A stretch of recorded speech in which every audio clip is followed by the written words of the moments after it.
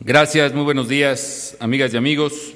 Señor licenciado Enrique Pereda Gómez, presidente del Consejo Directivo de la Cámara Nacional de la Industria de la Radio y la Televisión, muchísimas gracias por su invitación, muchísimas gracias por sus palabras. Distinguidos integrantes de este Consejo, distinguidos integrantes del Presidium, señores presidentes de cámaras y organismos empresariales, muy estimados empresarios de la industria de la radio y la televisión en todo el país, muy estimados líderes sindicales de este sector, señoras y señores. La industria de la radio y la televisión siempre ha estado con México. Y por ello me da un enorme gusto el acompañarles e inaugurar esta quincuagésima primera Semana Nacional de la Radio y la Televisión. Los saludo a todos con afecto, amigas y amigos empresarios, comunicadores, trabajadores de la industria. Sé que ustedes llevan entretenimiento, cultura, información a cada rincón del país.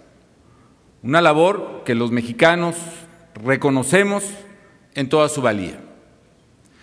Y en especial quiero externar mi más sincero reconocimiento a Enrique Pereda, presidente de esta Cámara, por la excelente labor que ha desempeñado al frente de este importante organismo. Una labor que, sin descuidar una defensa enérgica de los intereses de la industria de la radio y la televisión, ha también antepuesto sin titubeos el interés del país. Yo lo felicito a usted, Enrique Pereda, porque sé que la CIR se ha fortalecido bajo su liderazgo y el país también le agradece su compromiso.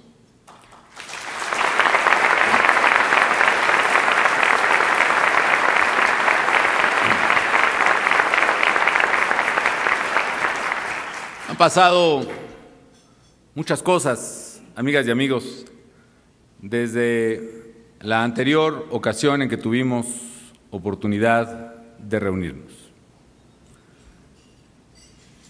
En el ámbito nacional, por ejemplo, todavía se preveía para la economía mexicana un crecimiento de casi el 2,5% para este año. Parece que las cosas resultaron ligeramente diferentes. En lo personal también recuerdo que hace un año nos acompañaba eh, mi entrañable colaborador, Juan Camilo Mourinho. En fin, han ocurrido muchísimas cosas. Pero en todos estos avatares, difíciles, desafiantes y complejos para el país, la radio y la televisión han apoyado de manera solidaria a México y particularmente en los momentos y en los temas de mayor dificultad. Así nuevamente lo hicieron con hechos también en este año, en un evento que a nombre de los mexicanos reconocemos a la industria de la radio y la televisión. Entre los desafíos históricos que enfrentamos, por ejemplo, fue el surgimiento, el brote, la irrupción de un virus hasta entonces desconocido en el mundo, el virus de la influenza AH1N1. Y en esa hora difícil, de incertidumbre, de problemas, de riesgos de pánico colectivo, de riesgos además de propagación, de fatalidad, las emisoras de radio y televisión que conforman la CID jugaron un papel fundamental, indispensable, para informar a los ciudadanos con veracidad y con oportunidad sobre las medidas que gobierno y sociedad teníamos que tomar de manera coordinada a fin de evitar la propagación descontrolada de este virus y reducir su tasa de mortalidad, cosa que afortunadamente logramos. La admiración internacional que el pueblo de México ha logrado por el manejo ordenado y exitoso de esa crisis pandémica que vivimos, sé que se debe, amigas y amigos, en gran medida al trabajo responsable y comprometido con el país de todas y de todos ustedes. Y por ello hoy la Cámara recibe un justo reconocimiento no solo de parte del Gobierno federal, sino, estoy seguro, de parte de todos los mexicanos por su destacada y solidaria labor en esta contingencia. Este reconocimiento nos recuerda a todos el permanente compromiso de ustedes con el país en momentos cruciales de la vida nacional. Y como ya lo ha señalado Enrique Pereda, justamente ahora y de manera muy intensa, también estamos viviendo momentos definitorios en los que México requiere unidad de propósito y unidad de acción. El pasado 2 de septiembre, con motivo de mi tercer informe de gobierno, invité a los mexicanos a una revisión profunda, a una reflexión acerca del México que anhelábamos tener en el futuro y en particular de lo que entre todos estaríamos dispuestos a hacer aquí y ahora para construir. El poder enfrentar precisamente los desafíos que implica, por supuesto, a mayor envergadura del desafío, también mayores riesgos y mayores costos. Y convoqué a los mexicanos también a rechazar la tentación de proseguir con el mero impulso de la inercia. Dije, y lo reitero, estimados amigos, que en México es la hora de cambiar y de cambiar a fondo. Cambiar a fondo no solo significa realizar pequeños pasos en la medida en que las comprensibles resistencias sean capaces de soportar, sino verdaderamente asumir las reformas y las transformaciones que México necesita. Y explícitamente, en ese día señalé como uno de los puntos impostergables de la agenda nacional la necesidad de revisar y cambiar aquello que en el sector energético nacional impedían la modernización económica del país e implicaban una canalización cada vez mayor e insostenible de los impuestos de los mexicanos a sostener tales ineficiencias. Y es con ese compromiso de por medio y con ese espíritu que antepone el interés de la nación que el gobierno federal a mi cargo tomó la muy difícil pero indispensable decisión de extinguir la empresa Luz y Fuerza del Centro el pasado domingo.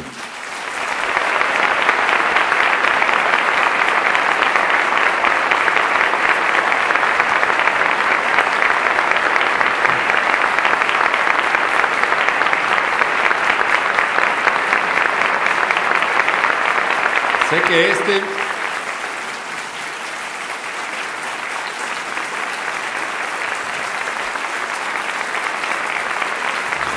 Gracias.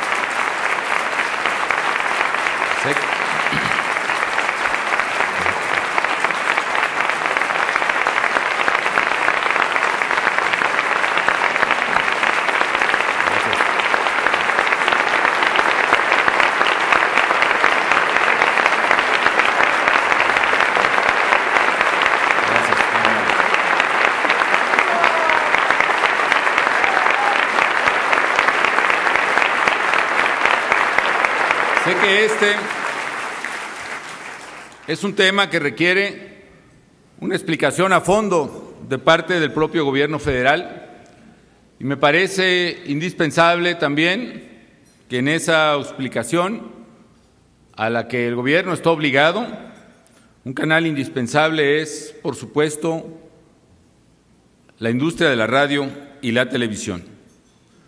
Yo quiero decirles, amigas y amigos, que teníamos que resolver un problema y un problema grave que había sido pospuesto durante mucho tiempo y que había llegado a niveles verdaderamente insostenibles en los últimos años.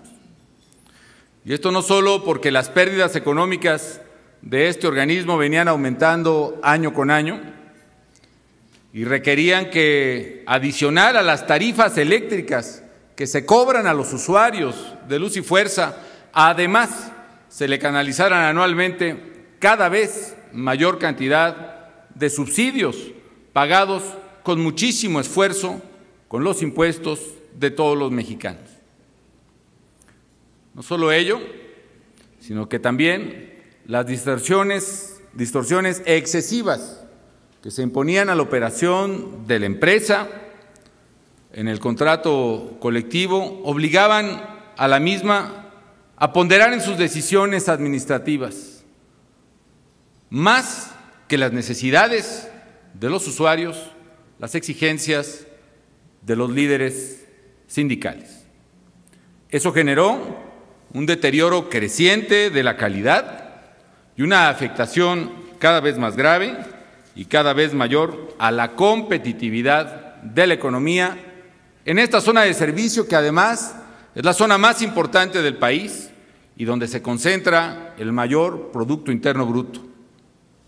Miles y miles de empleos dejaron de crearse a lo largo de los años por empresas que, estando interesadas, habiendo solicitado el servicio y habiendo incluso pagado parte de una contraprestación económica, terminaban para instalarse en esta región, terminaban por cancelar su decisión ante la imposibilidad de suministrarles energía eléctrica o bien las ya instaladas perdían constantemente competitividad frente a otras empresas de México y del mundo por las constantes fallas en el suministro, variaciones en el voltaje, deficiencias en el servicio, corrupción a la hora de atender sus problemas y sus requerimientos. Estas mismas afectaciones de cortes en el suministro, irregularidad en el voltaje, irregularidad y corrupción en el servicio lo sufren también millones, millones de familias usuarias en esta zona del país. Todo ello, insisto, entre otras cosas, impidió la creación de miles de empleos productivos.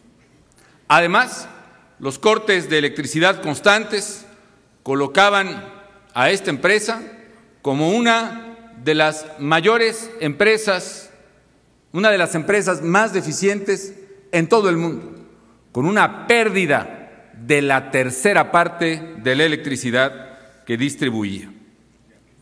Ciertamente, amigas y amigos, la extensión de luz y fuerza del centro ha sido una, ha sido una medida compleja y difícil, tan difícil que quizá por esa razón una decisión que en las esferas de gobierno se sabía necesaria se pospuso y pospuso no solo durante años, durante décadas. Pero sabemos, amigas y amigos, yo refrendo ante ustedes con absoluta tranquilidad de conciencia que es la decisión correcta, porque en la medida en que sepamos los mexicanos enfrentar y no evadir nuestros problemas, por muy difíciles y por muy costosas que sean las soluciones y sus consecuencias, en esa misma medida nuestro querido México será un país mejor. Esta medida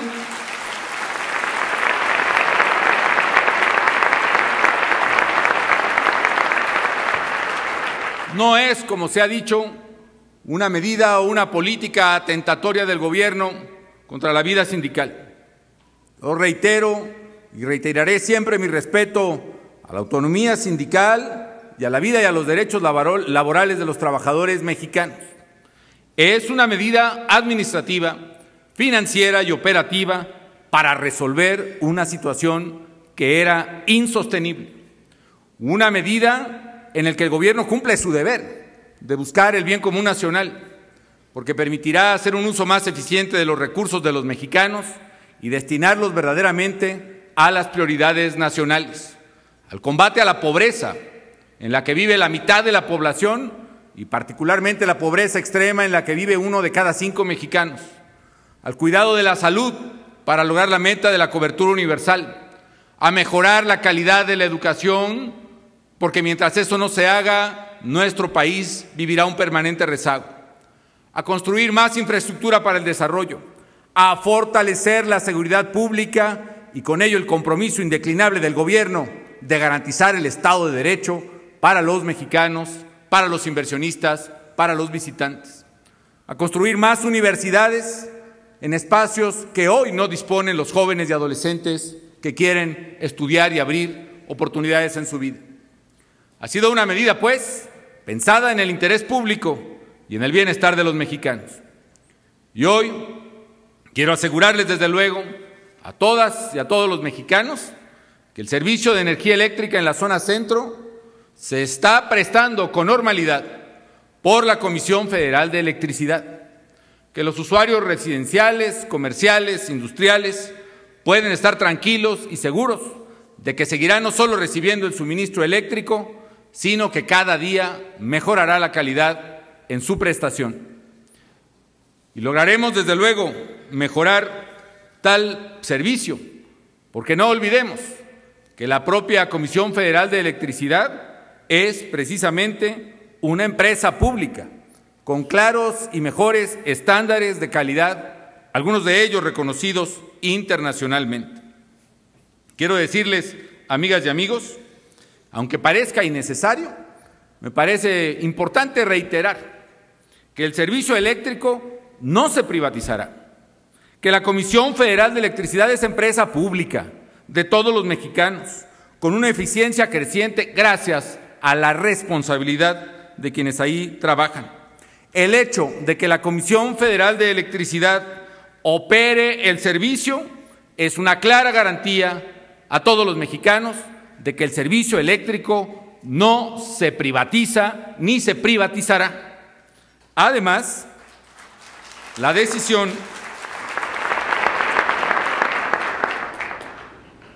la decisión ha sido tomada con un objetivo también claro, de buscar las mejores condiciones para una reinserción social, laboral, a la vida productiva de sus trabajadores. Y no solo porque la liquidación excede con mucho a la liquidación establecida en la ley. Eso permite una disponibilidad económica amplia para la reinserción laboral de los trabajadores, una indemnización que en promedio es superior a los dos años y medio de salario para los trabajadores, sino porque además se cuenta con esquemas, ya sea a través de la recontratación de muchos de ellos, el mayor posible, bajo un nuevo arreglo institucional, o también a través de la organización de pequeñas y medianas empresas proveedoras de la Comisión Federal de Electricidad, integradas por los propios extrabajadores, o bien otras empresas que en cualquier actividad económica que ellos deseen serán apoyadas con asesoría y financiamiento por el gobierno. Quiero finalmente decir que la posibilidad de lograr exitosamente la reinserción del mayor número posible, si no es que de todos los trabajadores, dependerá de la decisión que tome el propio trabajador. Para ser más claro, mientras más pronto pueda procesarse esta decisión, más fácil y prioritaria será la reincorporación a la vida laboral para aquel trabajador que así lo decida. Quiero destacar y agradecer profundamente la valiosa y valiente labor de los integrantes de la Cámara de la Industria de la Radio y la Televisión que han desarrollado en estos últimos días, dando un seguimiento puntual y oportuno a esta decisión del Gobierno federal que es una decisión pensando en el futuro del país. Han mantenido bien informados a los mexicanos. Esto es vital, porque sé que tenemos la razón y en la medida en que las razones y los beneficios sean más ampliamente explicados, será mucho mejor y mucho más pronto poder avanzar en este desafío de la transformación nacional. Así que gracias, sinceramente, por todo su valor en este trabajo profesional y objetivo a la Cámara de la Industria de la Radio y la Televisión. Quiero además de agradecerles el permitirme dar esta explicación, insisto, que debo a los mexicanos el día de hoy, también compartir mi punto de vista y hacer el repaso, como ha hecho Enrique, de los momentos que estamos viviendo en México y en el mundo en este sector vital de la vida nacional. No podemos ignorar que hoy la industria de la radio y la televisión vive una auténtica revolución tecnológica a nivel mundial. La tecnología que usaba la radio y la televisión en los años 80 era prácticamente la misma 40 o 30 años atrás. Ahora las cosas son radicalmente distintas, cambian día con día. En la última década se ha registrado un avance vertiginoso superior al avance tecnológico de las cuatro décadas anteriores. Este avance tecnológico ha abierto nuevas posibilidades de progreso y nuevas posibilidades de servicio para los consumidores. Estoy convencido, amigas y amigos, que México necesita una industria de radio y televisión en completa sintonía con los avances tecnológicos y que sea capaz de ofrecer mejores servicios a los mexicanos. En la transformación del país, transformar la industria de la radio y la televisión para que bajo reglas claras alcance los tres principios que hemos establecido para su crecimiento. La competencia, la convergencia y la cobertura será la tarea medular y los principios que inspiren esta transformación en beneficio de los mexicanos. Por esa razón también hemos venido trabajando con la propia Cámara para brindarle certidumbre jurídica, la certidumbre jurídica que requiere este sector y cualquier otro para crecer y para fortalecerse.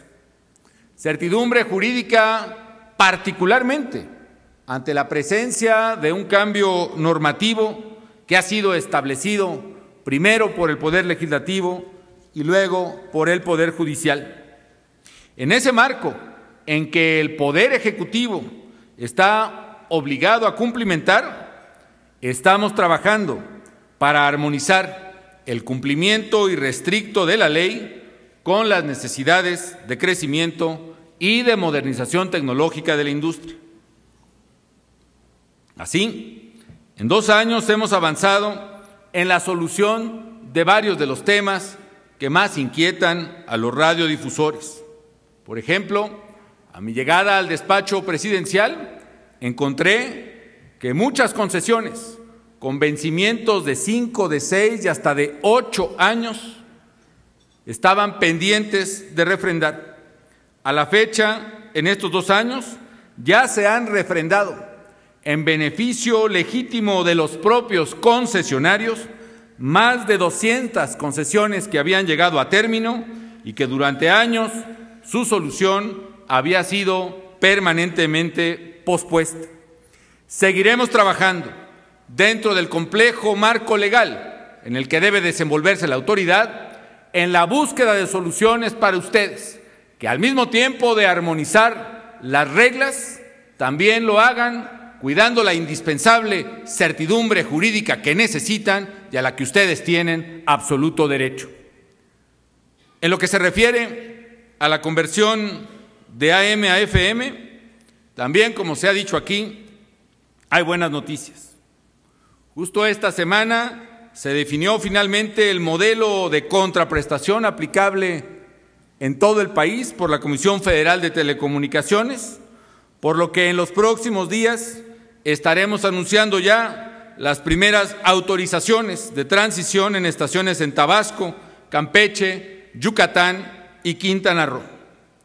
Y en lo personal me alegra que quizá una de las primeras transmisiones en esta modalidad hacia FM sea la de don Sebastián Puc, un hombre que opera su modesta estación 720 AM en la comunidad maya de Carrillo Puerto, ya que recuerdo porque alguna vez, en tiempos difíciles, en tiempos de cerrazón, me abrió las puertas y los micrófonos de su oficina, cabina, cocina, en, en, aquella, en aquella zona de difícil acceso, en la zona maya de Carrillo Puerto, en Quintana Roo. Muy pronto, don Sebastián, y muy pronto muchos concesionarios de AM en el sureste y en todo el país estarán accediendo a transmisiones FM con absoluto apego a derecho y abriendo las puertas de su propia empresa a la modernización digital. Le he dado, por otra parte, instrucciones al secretario de Comunicaciones y Transportes que no solo sostenga, sino que acelere incluso la transición y la segunda etapa de transición a FM en el país, porque estamos cumpliendo en la primera etapa con el calendario establecido antes incluso de las fechas pactadas. Esto representa un paso muy importante hacia la futura digitalización que completaremos en la radio en nuestro país.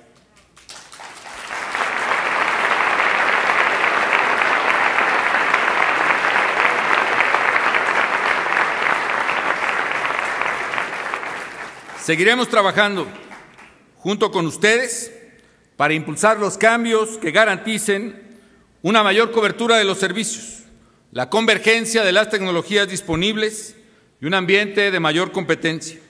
Así, generaremos un mercado de la radio y la televisión cada vez más vigoroso, que ofrezca precisamente servicios de calidad a los usuarios y al propio tiempo que tenga plena seguridad jurídica para sus operadores.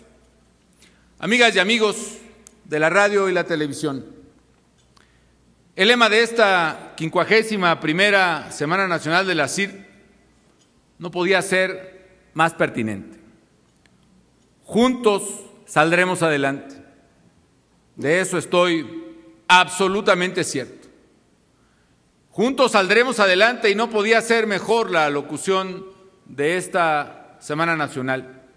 Saldremos adelante y no solo de esta, la peor crisis económica mundial en décadas y que afortunadamente en el caso de nuestro país ya presenta algunos signos promisorios de recuperación, como es el hecho de que en el pasado mes de septiembre se generaron en términos netos 62 mil nuevos empleos registrados en el Seguro Social que llevamos cuatro meses desde el mes de junio registrando crecimiento neto del empleo en el país.